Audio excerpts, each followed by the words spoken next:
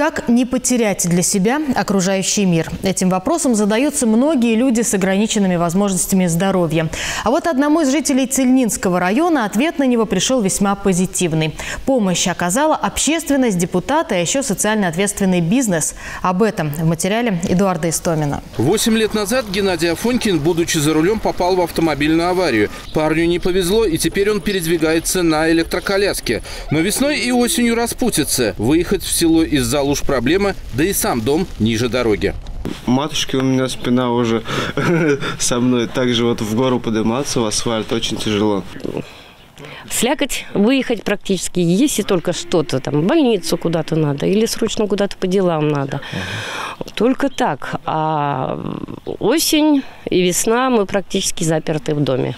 Семья пыталась самостоятельно справиться с проблемой. Она даже закупила песок с битым кирпичом, но сделать выезд на общую дорогу вручную не удалось. Требовалась техника.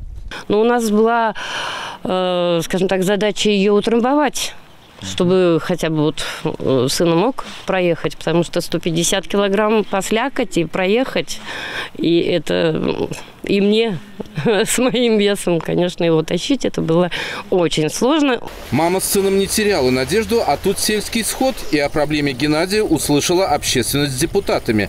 Было решено обратиться за помощью к дорожникам и на сахарный завод, чтобы с материалом и техникой помогли.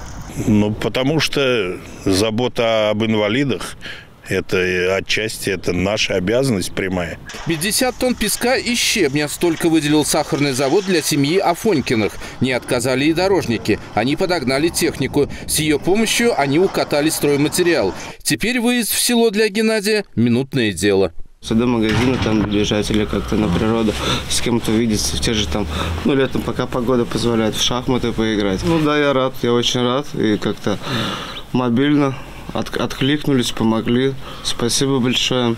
Общими усилиями депутатский корпус, сахарный завод, администрация – вот дорожники создали вот, да, небольшой участок, но хорошей, ровной, твердой, качественной дороги. Я не знаю, первые несколько дней мне плакать хотелось от чести. Это же вы даже не представляете, что это такое. Колясочник просто дома заперт. Свое доброе дело на сахарном заводе не прокомментировали, ведь оно любит тишину. А вот семья Афонькиных прониклась верой в добрых самаритян. Сейчас мама с сыном проверяют удочки. Пока белые мухи не полетели, можно и на рыбалку съездить. Свияга-то недалеко. Эдуард Истомин, Сергей Свешников, Вести Ульяновск из Цельнинского района.